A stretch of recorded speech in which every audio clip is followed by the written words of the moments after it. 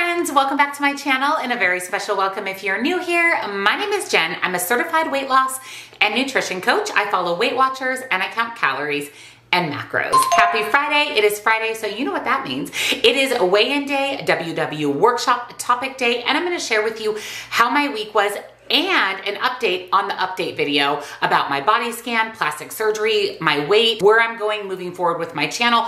All of those updates are coming in today's update. So if you're excited, give this video a big thumbs up. Subscribe if you're not because I upload a weigh-in video every single Friday in five videos per week. Check out the description box down below for nutrition coaching where I offer personalized to you macros and calories. Again, I follow this. This is how I've lost almost 140 pounds, and I have one-on-one coaching for accountability. Links, discounts to my favorite things, and of course, we would love to have you join our free community over on Facebook, Jenn's WW Tribe. We are 26,000 members strong, and it is such a great supportive community, so head on over and join our Facebook group. So let's jump into my week, my weigh-in, and the WW workshop topic, and those updates on the update.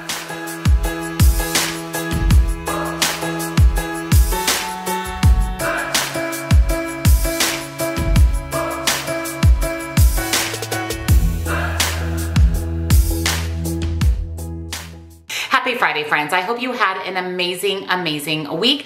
I had a really good week, an interesting week, but a really good week. It's February. January is over and it is officially the month of February. I let you know that I had a pretty massive update video coming your way, but I wanted to finish out the month of January before giving you that update.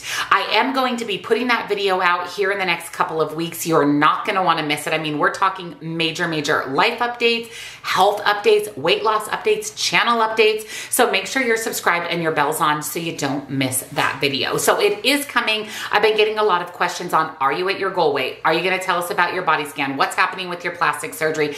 It's all coming in that update video. Like I said, my week was really good. I am killing my workouts. I mean, girl is sore. I am really, really sore. I'm sore every single day. And because I do a lot of working out, a lot of strength training, my weight on the scale has been all over the map. The beginning of this week, I was up about three pounds from where I was last Friday. Now, I logically know that this isn't fat gain. I did not gain weight. It is just a result of strength training. When we strength train, when we break down our muscle, when it has to rebuild, which is exactly what we're shooting for, it gets inflamed, it retains water, and that can show up as a weight gain on the scale. Remember, the scale only measures mass. So it's measuring all of that inflammation and that water retention as weight. So I just brush it off. Don't even worry about it, but it's interesting to see how my workouts affect the scale. And it took me once again, most of the week to get, try to get rid of that three pound weight gain on the scale. My food's been really good. We actually ate out a couple of times this week. We ate out Friday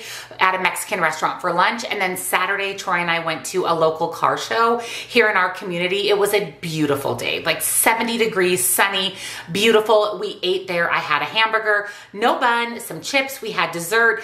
I ate out a couple days this week, and for me, that's sustainable life. That is living a sustainable life. And in fact, today I am going to a cookie decorating class with some girls from my boot camp. So I'm betting that I may have a cookie tonight as well. And we and food is served, so I'll be eating out again today. That's something that I really love is that because I've healed my relationship with food, I can go out to eat and do my best just to make healthier choices. I did have a question for you guys when it comes to going out to eat and eating out. Would you be interested in a video on how I navigate that? How do I eat out so often and not gain weight and maintain my weight and continue to lose weight? How do I structure my meals? How do I pick items off the menu? Let me know if you guys would be interested in that video. We even bought Girl Scout cookies at the car show and I have been really good about only having one or two Girl Scout cookies every single day, working it into my day, but still enjoying those really good cookies that only come out once a year. I've been drinking my water, I've been taking my supplements. I just feel really good about where I am and how I've started off 2023. We know that my goal, my word for the year is consistency, and I feel like I've been absolutely nailing that and I can't wait to see what the month of February brings. But before we jump into my weigh-in, let's chat about this week's WW workshop topic. And that is how to set simple goals for big success. I love, love, love this topic because I always say that the key to being successful in long-term weight loss, if you have a lot of weight to lose, is to take baby steps, to set mini goals that lead to that big end goal. And we're gonna talk all about how to do that from WW. What are some of your big goals this year? Is it a big number of weight loss? Is it a big goal to increase physical activity or focus on food or water? What are your big, big goals that you've set for the year? Those big goals great, but the easiest way to make it to the big goal is to set some smaller goals. So try this. Name one of your big goals. Maybe it's to cook a healthy meal every night. Then number two, list smaller goals that build up to it based on where you are now. Let's say you only cook once a week. Maybe you cook two nights a week, cook three nights a week, or even cook four nights a week. Number three is for the smallest goal, list each step needed to accomplish it. So if your goal is to cook two meals this week, you wanna pick two meals to make. Write a shopping list, go to the store and prep and cook those meals. Number four is to ask yourself, are these steps truly doable for me? This is huge. If the answer is eh, maybe not, go back to number two and brainstorm a little bit smaller goal. If your answer is actually, these are a little bit too easy for me, I could really do three or four meals per week. Again, go back and use the next goal listed in number two. And if your answer is, yep, I got this, go ahead and move on to tip number five, which is to write out a specific plan for when, where, and how you'll tackle each of these steps. On Sunday, I'll find two 30 minute recipes and make a shopping list. Monday after work, I'll stop at the store and then I'll cook on Tuesday and Thursday at 6 p.m. By setting small goals that lead to the big goal, that's actually how you're gonna get to the big goal. Let's say, for example, uh, cooking aside, meals aside, that your goal for the year is to lose 100 pounds. If that's all you focus on, you're gonna get one or two months into the year and give up because losing 100 pounds takes a long time.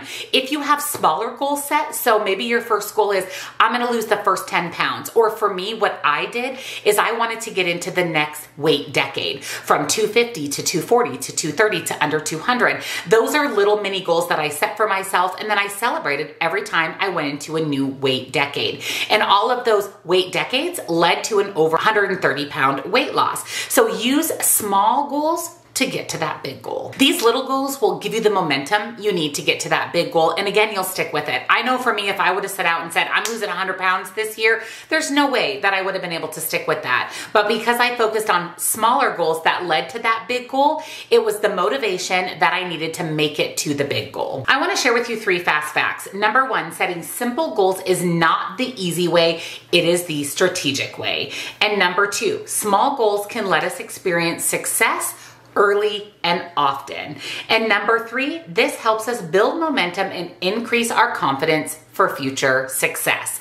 I can't talk about this more. I can't reiterate these facts even more. This is really truly how I was able to get where I am was setting small goals and using those small goals as motivation and momentum to get to the big goal. So I really want you to focus this week on thinking about what's your long-term goal and what are all those small goals that will get you to that long-term goal. Actually, you know what? Let us know down in the comments. What is your big what is your long-term goal and what are your small step goals to get there? I'm loving this whole keep it simple approach that Weight Watchers is taking for this month's workshop topics. And this one I think is one of the most valuable ones that we've had in quite a while. So now let's jump into my way and Let's talk about the goals, the little goals that led to the big goal. As you guys know, the month of January was a month of figuring things out. Am I at my goal weight? Do I still have weight to lose? What are my little mini goals leading up to some of my big goals which we'll be talking about in that update video.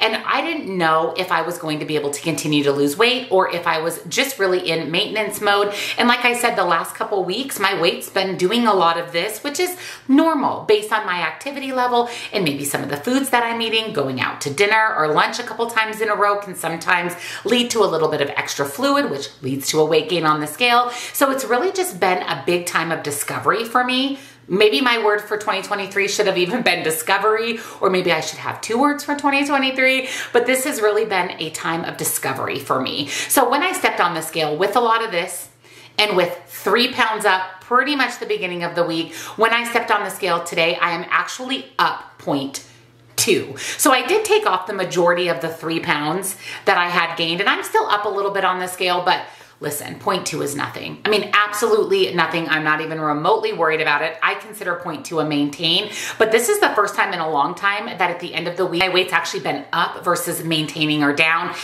but it's no skin off my nose. I'm literally not worried about point two at all. Let's be honest, this is real life. This is the hard truth about weight loss. It isn't always in a downward motion. Sometimes it goes up unexpectedly and sometimes it stays up even on our weigh-in day. You just have to use it as data and move on. It's just point two. I'm not worried about it at all. Even if I had gained more than that, I still wouldn't be worried about it. It's just part of life and weight fluctuation is 100% normal. So we're just moving on up, moving on out to the next week in the month of February. So now I wanna hear from you guys. Let me know number one, goals. Tell me your big goals, tell me your small goals to get there. Leave it all down in the comments and of course how your week was. How was your weigh-in? Did you gain? Did you lose? Was it what you expected? Let me know everything down in the comments. And of course, again, make sure you're subscribed and your bell's on so you don't miss my huge update video. If you enjoyed today's Friday weigh-in workshop topic, and of course how my week was, give it a big, huge thumbs up. It really helps out my channel, and of course I very much appreciate it. And of course, check out the description box for nutrition coaching, links and discounts to my favorite things. And last but not least, again, come join our Facebook group. We would love to have you. Happy Friday, friends, and I will see you in tomorrow's grocery haul. Bye.